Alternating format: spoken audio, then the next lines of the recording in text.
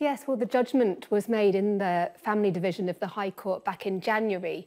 But Sheikh Mohammed, who is the ruler of Dubai and also the Prime Minister of the United Arab Emirates, um, his team fought to try to keep the, um, the details of the judgment uh, secret. But they, have, they, they lost that battle and the details have emerged today.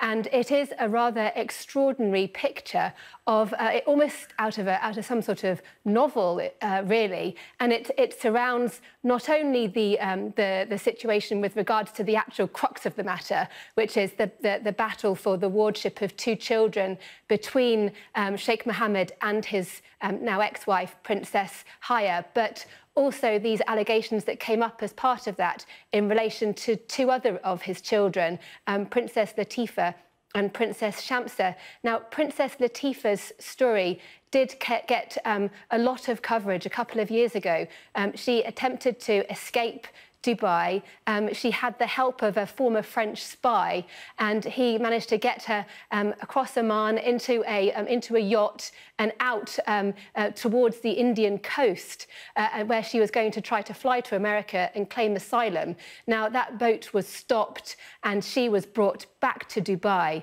And um, the judge said uh, in his ruling that he believed this was a, a, a rendition, effectively. And um, the sheikh did say that he saw it more of a as a rescue mission in the, um, the, the, statements that he put forward. But, and, and, then the second one is related to his older daughter, Princess Shamsa. Now, she was abducted off the streets of Cambridge back in 2000. Um, and again, the judge ruled that this was um, kidnap and being brought home. And both of those women remain in Dubai.